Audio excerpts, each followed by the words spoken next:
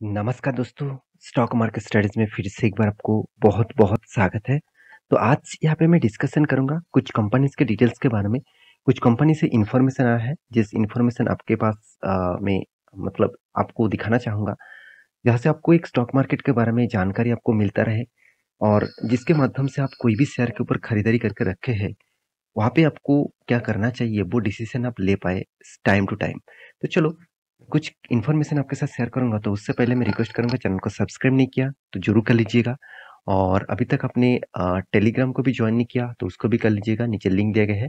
Telegram में जुड़ने से फ़ायदा आपको क्या हो, होगा मैं पहले बोल देता हूँ कि आपको डेली बेसिस जो इंट्राडे स्विंग ट्रेडिंग का जो कॉल है वो वहाँ पे प्रोवाइड किया जाता है। आप एज ए लर्निंग पर्पज़ में उसको देख सकते हैं। अगर आपको अच्छा लगे तो आप सीख कर खुद ट्रेड कर सकते हैं। देखिए यहाँ पे कोई भी आपको रिकमेंडेशन नहीं किया जा रहा है कि आपको करना ही है। आप एक बार स्टडी तो करिए, अगर आपको अच्छा लगे तो उसके बाद आप कुछ भी काम कर सकते हैं।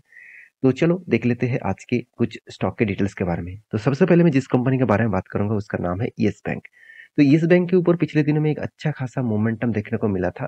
तो देखिए, उतना खास परफॉर्मेंस नहीं है, फिर भी पंद्रह रुपीज़ तक अभी चलने वाला कंपनी है, देखने को मिला है।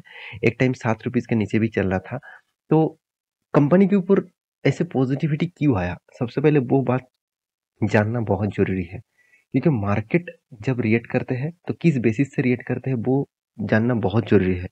तो येस बैंक का जो रिपोर्ट आया है, वो रिपोर्ट आज नहीं, कुछ मंथ से मैं उस रिपोर्ट को फॉलो कर रहा हूँ, कुछ क्वार्टर्स में भी फॉलो कर रहा हूँ। जब से इसका मैनेजमेंट टीम चेंज हुआ है, तब से लेकर येस बैंक अच्छा खासा परफॉर्मेंस करते जा मतलब करते जा रहा है। तो उस हिसाब से येस बैंक ने इस बार भी क्यू फोर रिज़ल्ट आने से पहले ही एक रिपोर्ट पब्लिश किया, जिस रिपोर्ट बता रहा है कि कि इस कंपनी में एक अच्छा खासा परफॉर्मेंस करने वाला है की फोर रिज़ल्ट में। तो वो किस रिपोर्ट से आया, किससे देखने को मिला? चलो वो रिपोर्ट पहले आपको दिखा देता हूँ। सबसे पहले मैं दिग्गज वेबसाइट आपके सामने यहाँ पे देख सकते हैं। बिज़नेस टुडे मतलब बिज़नेस मार्केट टुडे के ऊपर आ चुका हूँ। तो मैं पूरा क्रेडिट साइट को दूँगा अच्छा खासा न्यूज़ पब्लिश करने के लिए। यहाँ पे क्या बताया जा रहा है? येस बैंक शेयर यहाँ पे देख सकते हैं। Private leaders stock in focus as deposit jump ten percent, ten point six percent in Q four तो क्यू फोर रिज़ल्ट आने से पहले ही एक बहुत बड़ा अपडेट दिया। तो डिपोजिट टेन पॉइंट सिक्स। देखिए बैंक का सबसे ज़्यादा प्रॉब्लम्स क्या होते हैं, आप जानते हैं?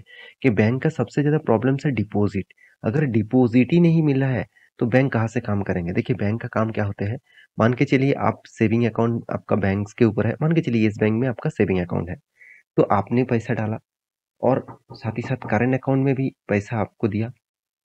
तो इस येस बैंक को जो सेविंग अकाउंट से और करेंट अकाउंट्स में जो पैसा बैंक के हाथ में आया, वो बैंक क्या करेंगे? उस पैसे को दूसरों को लोन के हिसाब से बांटेंगे और वो लोन से इंटरेस्ट कमाएगा। उस इंटरेस्ट के कुछ परसेंटेज आपको देंगे, उसके बाद बाकी पैसा वो रख देंगे। तो इसी तरीके से बैंक चलते रहते हैं। अगर इस सेविंग और करेंट अकाउंट का पैसा कम बैंक को मिला तो वो लोन ज़्यादा बांट नहीं सकते। तो यही बैंक का सबसे बड़ा दिक्कत था येस बैंक का। लोगों का इन्वेस्टमेंट कम हो गया था। मतलब जो कासा रेशियो है, कासा रेशियो मतलब करंट और सेविंग अकाउंट देखिए करंट अकाउंट और सेविंग अकाउंट ये दोनों अकाउंट में पैसा कम डिपॉजिट होता था बैंक में। तो अभी वो टेन परसेंट का जाम हुआ इस बार तो बहुत अच्छी बात है। इसी के कारण स्टॉक के ऊपर एक शानदार मोमेंटम देखने को मिला है। अगर आप ध्यान से देखेंगे इस डेटा को, देखिए यहाँ पे एक रिपोर्ट पे पब्लिश किया गया है। आप इसको देखिए। देखिए डिपॉजिट डिपॉजिट क्या बताया जा रहा है? देखिए, इक्कीस परसेंट के आसपास, देखिए क्यू मतलब क्यू ऑफ़ क्यू मतलब क्वार्टर क्वार्टर में देखा है तो कितना? टू पॉइंट वन परसेंट और ईयर ऑफ़ ईयर कितना? टेन पॉइंट सिक्स परसेंट मतलब ईयर ऑफ़ ईयर अच्छा खासा ग्रोथ हुआ है। तो डिपॉजिट के मामले में अच्छा खासा ग्रोथ देखने को मिला। सबसे इंपॉर्टेंट पॉइंट जो मुझे देखना है, वो है कासा रेशियो तो कासा रेशियो मत बता रहा है कि कंपनी के ऊपर कितना पैसा आया है। बैंक में कितना पैसा आया है। देखिए दिसंबर ट्वेंटी ट्वेंटी में जो जो पिछले जो क्वार्टर था, उसमें कासा रेशियो कितना था? उसका परसेंटेज के हिसाब से नहीं, उसका टोटल फिगर के हिसाब से sixty three thousand nine hundred था और इस बार जो बन चुके हैं sixty seven thousand four hundred तो यहाँ पे जो जम हुआ, यहाँ पे जो परसेंटेज का जो चेंज हुआ, बहुत शानदार। ऑब्वियसली धीरे धीरे ग्रोथ करना बहुत चाहिए। तो फिर भी, अभी भी बहुत दूर है, उस लेवल तक कासा रेशियो नहीं पहुँचा। तो जिस हिसाब से बैंक लोन दे पाएँगे तो फिर भी मैं ज़रूर कहूँगा यहाँ पे ईयर ऑफ़ ईयर पे जो परसेंटेज है, वो अच्छा खासा जाम देखने को मिला और ये रिपोर्ट पब्लिश होने के बाद इस बैंक के ऊपर एक आ, मतलब नज़रिया कुछ अलग से देखने को लगा। देखिए मैं कुछ क्वार्टर्स में फॉलो कर रहा हूँ येस बैंक के ऊपर, तो मुझे कंपनीज़ के कुछ डेप्थली बता दूँ, कुछ पॉइंट्स मुझे बहुत अच्छा लगा। तो इस बेसिस में क्या येस बैंक के ऊपर निवेश करना चाहिए? देखिए फ़िलहाल के लिए तो निवेश करने के लिए आप सोच मतलब एज़ ए लॉन्ग टर्म के लिए सोच नहीं सकते क्योंकि अभी भी उतना स्ट्रॉन्ग मोमेंटम देखने को नहीं मिला, स्ट्रॉन्ग परफॉर्मेंस नहीं देखने को मिला। तो जब कंपनी का कुछ सारे पैरामीटर्स धीरे-धीरे करके ठीक हो जाएगा, तब इसके ऊपर ज़रूर सोचना क्योंकि कंपनी देखिए बीच में बड़ा से बड़ा लॉस करते आए हैं। तो उसको फिर से रिकवरी किया, अभी देखना है कुछ क्वार्टर्स में अगर कंपनी परफॉर्मेंस ठीक-ठाक दिखाया, तब उस कंपनी के ऊपर सोचने वाला कुछ बात होगा। तो रही बात कंपनी के परसेंटेज के हिसाब से लगातार लॉसेस और सेल्स ग्रोथ तो मतलब थोड़ा-सा चेंजिंग हुआ, प्रॉफिट ग्रोथ में अभी भी ठीक-ठाक नहीं है। तो रही बात कंपनी के कैश फ्लो में, तो जितना भी कंपनी की कैश दिखा रहा है, उतना कैश कंपनी हाथ में आ रहा है, तो ये अच्छी बात है।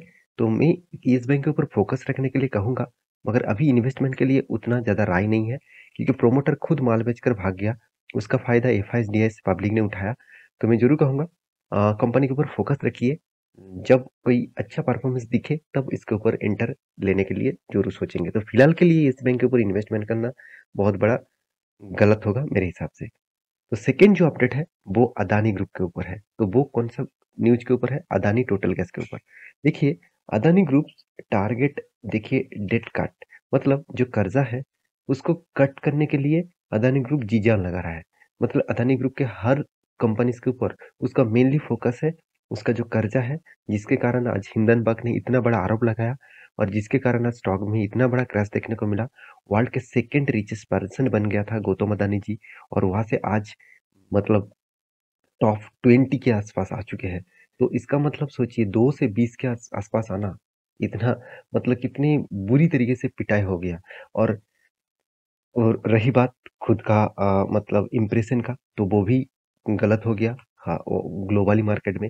तो इसीलिए अदानी ग्रुप कोशिश कर रहा है खुद का जो डेप्थ है, वो पहले उसको मिटाएगा और उसको मिटाने के बाद कंपनी को फिर से खड़ा करेंगे। तो इस हिसाब से देखा जाए तो ऑब्वियसली अदानी ग्रुप की कंपनीज़ के बारे में बात करूँगा, जो पिछले दिनों में देखा जाए तो अपर सर्किट देखने को मिला।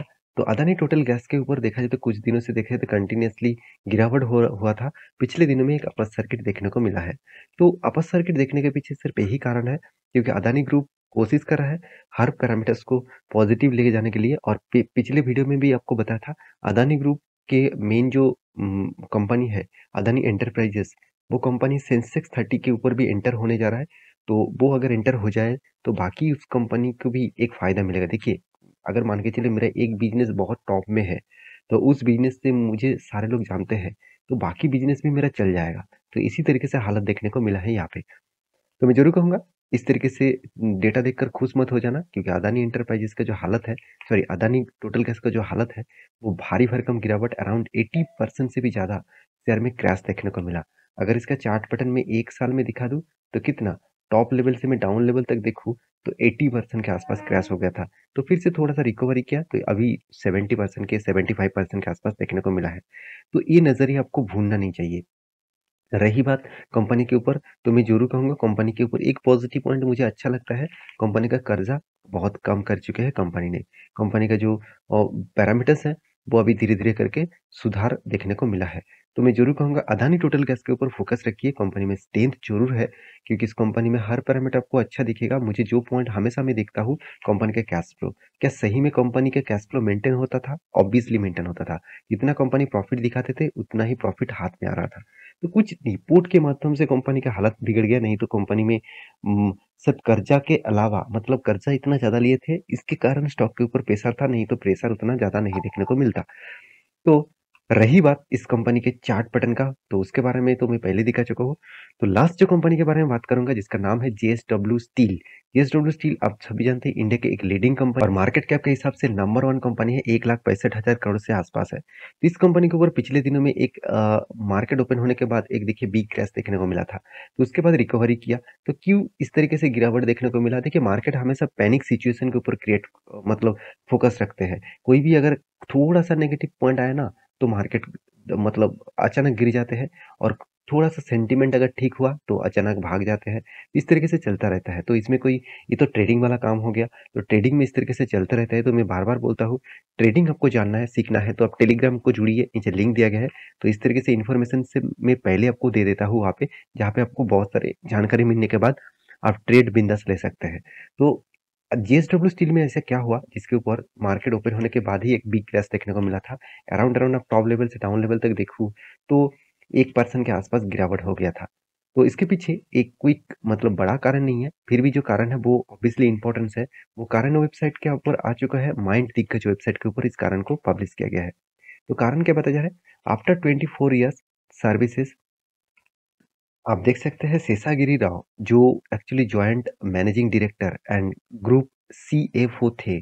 तो वो क्या किया? उन्होंने 25 साल का उसका सर्विस जो करियर है, वो रिटायर किया। तो इस रिटायरमेंट के कारण स्टॉक के ऊपर एक प्रेशर देखने को मिला। देखिए रिटायरमेंट के कारण आपको प्रेशर इसीलिए देखने को मिला, क्योंकि मान के चलिए, आप एक दुकान से प्रोडक्ट खरीदारी करते हैं। मान के चलिए, जिस व्यक्ति से आप प्रोडक्ट खरीदारी करते थे, वो आपको डिस्काउंट देता था, उधारी देते थे, सब कुछ मिलता था। तो उस दुकान से नहीं, उस लोगों से आपको लगा मतलब उस लोगों में आपको लगाव था। तो मान के चलिए, वो उसका मतलब उन्होंने रिटायरमेंट कर लिया और उसको, उनको बेटे को दुकान में बिठा दिया, जो आपको उधारी नहीं देते और पैसे के लिए खिच-खिच करते हैं। तो उस दुकान में जाने के लिए आप एक बार नहीं चार-चार बार सोचने लग जाएँगे। सेम टू सेम यहाँ पे भी यही हालत देखने को मिला। इतने दिनों का उनका जो एक्सपीरियंस है कंपनी के ऊपर, वो एक्सपीरियंस यहाँ पे मतलब जितने सारे शेयर होल्डर हो, उसको अच्छा लगता था। तो अभी नया एक मैनेजमेंट ज्वाइन करेंगे। तो वो किस तरीके से काम करेगा? वो अलग डेटा रहेगा। तो उस हिसाब से एक थोड़ा सा पैनिक सिनेरियो क्रिएट हुआ तो इसलिए मार्केट को एक गिरावट देखने को मिला। फिर से रिकवरी भी हो गया तो चिंता करने का ज़रूरत नहीं। इसके बाद जीएसडब्ल्यू स्टील जैसे कंपनी है तो अच्छा खासा धमाका देने वाला कंपनीज़ है, इसके ऊपर भी फोकस रखना। तो ये था कुछ कंपनीज़ तो आपके पास कौन सा कंपनी का होल्डिंग है, मुझे ज़रूर कमेंट करना। और मेरे वीडियो से कुछ अच्छा मिले, कुछ इन्फॉर्मेशन आपको अच्छा मिले तो प्लीज़ एक लाइक ज़रूर कर देना। आपके लाइक में मुझे बहुत मोटिवेट करेगा। तो प्लीज़ लाइक करना। मिलते हैं नेक्स्ट वीडियो में। तब तक के लिए अच्छे से रहिए, अपने ख्याल रखिए। Bye bye